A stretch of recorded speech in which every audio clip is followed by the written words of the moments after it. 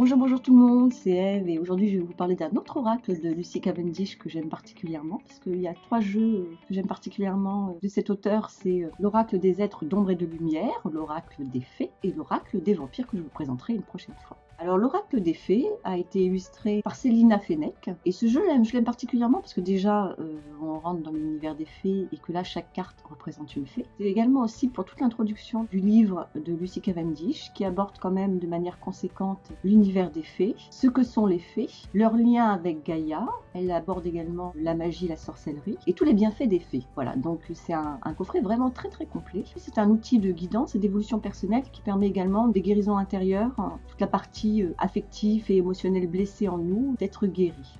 Donc le coffret, bah, c'est un coffret euh, des éditions Exergue, donc c'est toujours le même format, le même format que l'oracle des êtres d'ombre et de lumière, de lumière pardon. C'est-à-dire qu'il fait du 17, du 17, un peu plus de 17 sur euh, presque du 13 cm en largeur et il est quand même relativement épais comme vous pouvez le voir. Le dos est comme ça, puis on va lire le, dos ensemble. le mien est un petit peu, ça fait longtemps que je l'ai. Je vais vous faire la mise au point pour que vous puissiez lire avec moi. Les fées sont de puissants êtres de lumière, leur savoir est immense, elles connaissent le magnétisme, la divination, la science des herbes, la musique, elles murmurent leurs messages dans nos rêves, nos pensées intuitives ou nos visions. Apprenez à les écouter, votre vie en sera changée. Chacune de ces 47 cartes magnifiquement illustrées représente une fée particulière. Chaque jour, tirez une ou plusieurs cartes au hasard et reportez-vous au livre d'accompagnement pour découvrir le message de votre fée. Vous apprendrez à créer dans votre vie des événements positifs et bienfaisants. En communiquant avec votre fée, vous réaliserez vos vœux les plus secrets, vous découvrirez votre être profond et votre vérité. Voilà. Donc il s'ouvre ainsi et on a en effet, c'est un livre, hein, c'est même plus... Euh, il y a 200, plus de 220 pages je crois. Voilà, on va le regarder ensemble.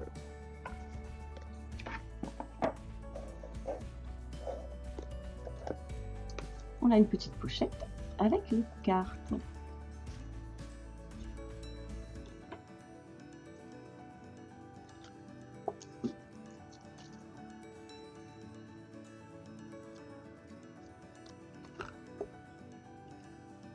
Donc le dos, est comme ça.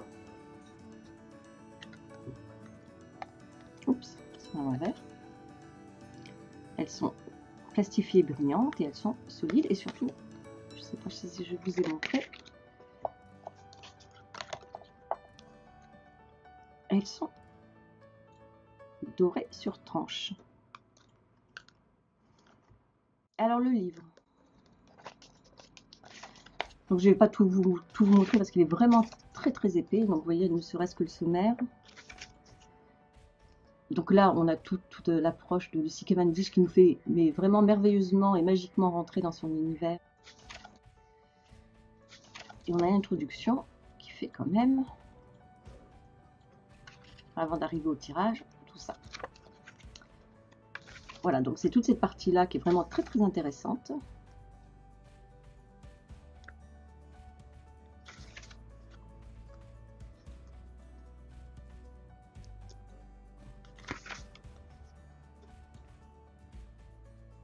Je vous laisse le lire, c'est pour ça que je vous ai fait un zoom. Quelques extraits.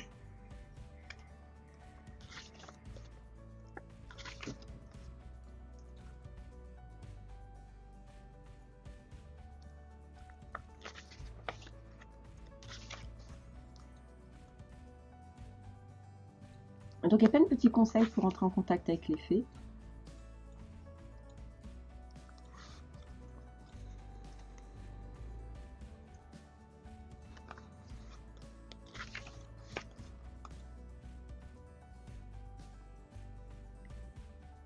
Et là, dans les illustrations, on retrouvera ces symboles des fées, dans les illustrations des différentes cartes.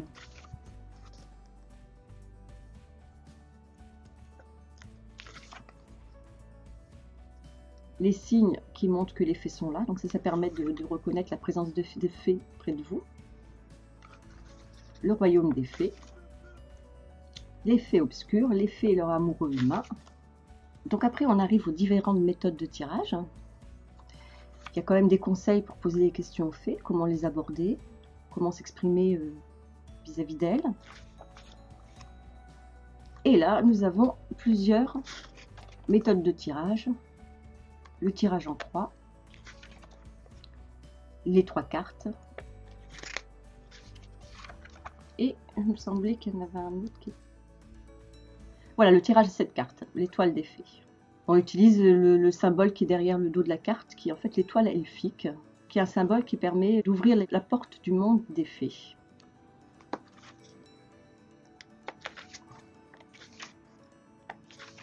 Et ensuite, nous avons quand même tout ça pour vous dire comme, comme quoi les messages sont quand même euh, relativement denses.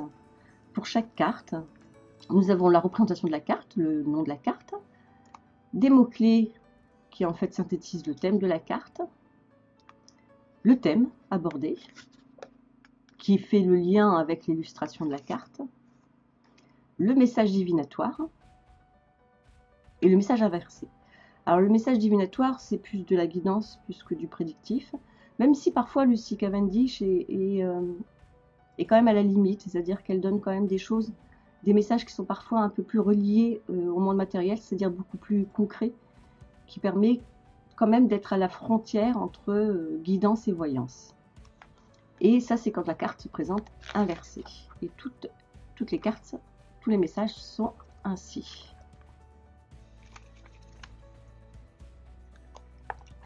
Donc on va regarder les cartes.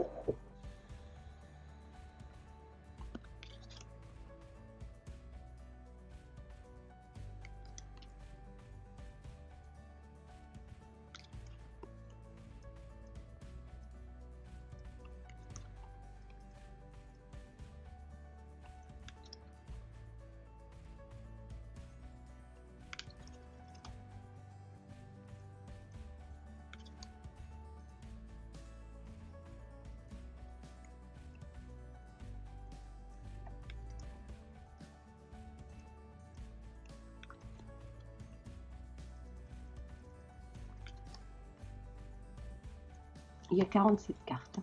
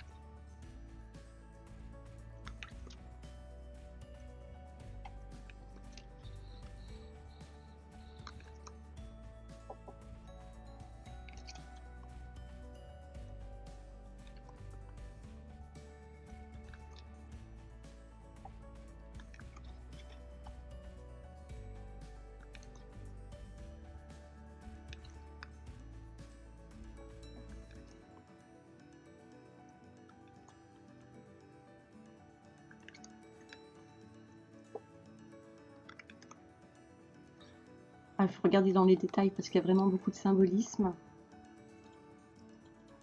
par exemple, je ne sais pas si vous voyez bien, elle tient une clé.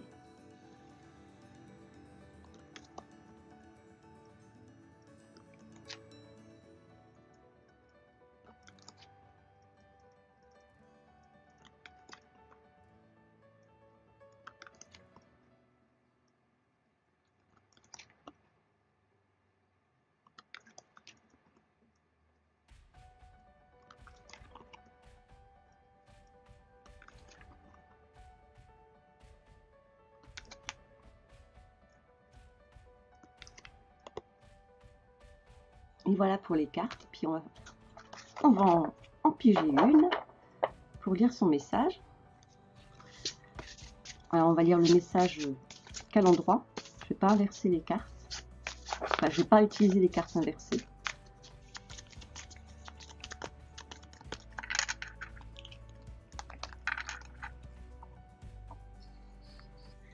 Et bien celle-là.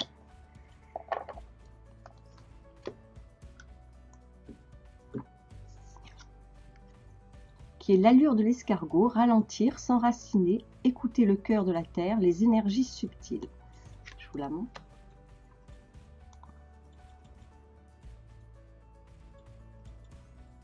Cette jolie fée prend le temps de communiquer avec petit escargot. C'est la 22.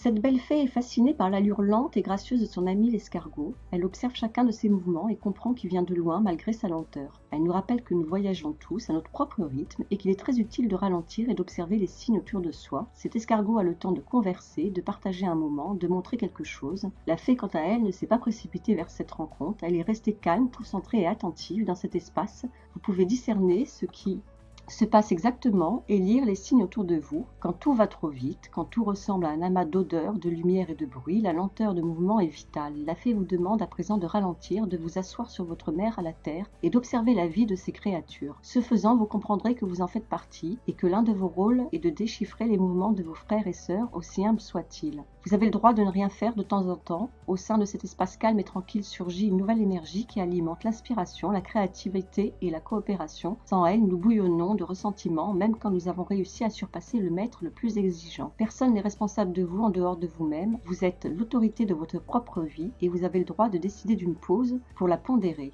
Vous vous sentez peut-être déconnecté de la magie et de la divinité. Prenez le temps de vous remettre en contact, d'observer la paix et l'énergie aimante qui circulent dans votre vie et alimentent la richesse de votre travail, de votre communication et de votre créativité. Le message divinatoire, ce qu'elle appelle le message divinatoire, en fait, elle en extrait le sens.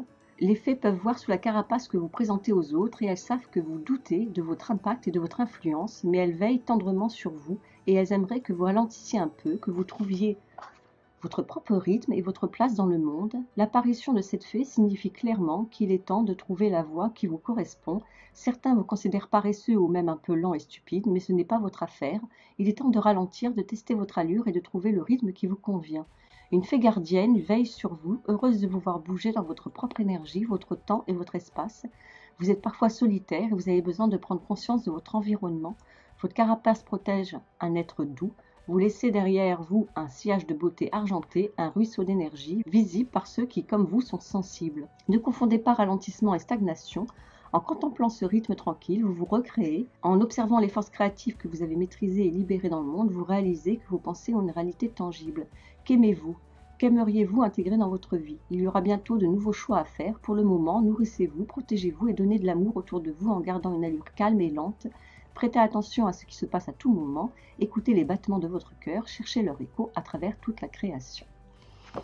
Voilà. Bon, j'espère que vous apprécierez cet oracle autant que moi.